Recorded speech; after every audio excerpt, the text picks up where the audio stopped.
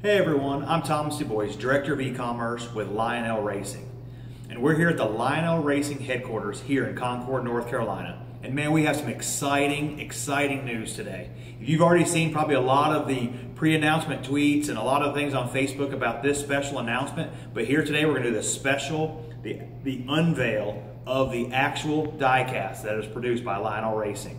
So you've probably heard about it. Batman versus Superman. Who will win? So here we go. The official release of the cars.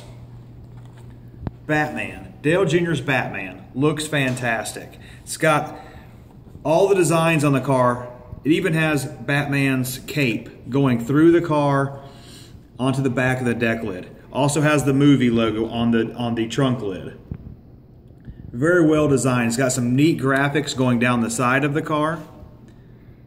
It just looks really great. This car looks much better in person than what even our renderings show.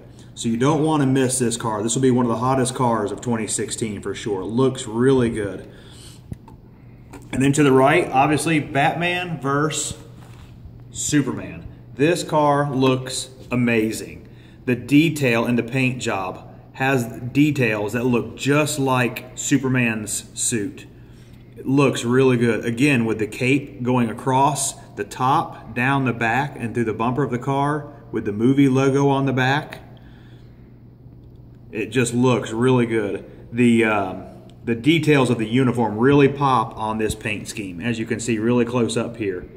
These will be the probably the best-selling cars of 2016. I mean, these are going to be really hot. Um, you definitely want to order these. These cars will actually be run at the Auto Club Speedway in just a couple months. So you want to get your pre-order in now at lionelracing.com or your local dealers online. And be sure to get these pre-ordered today. You will not want to miss these great, great cars. Batman versus Superman. You've seen the unveil live here first. Get your pre-order in today.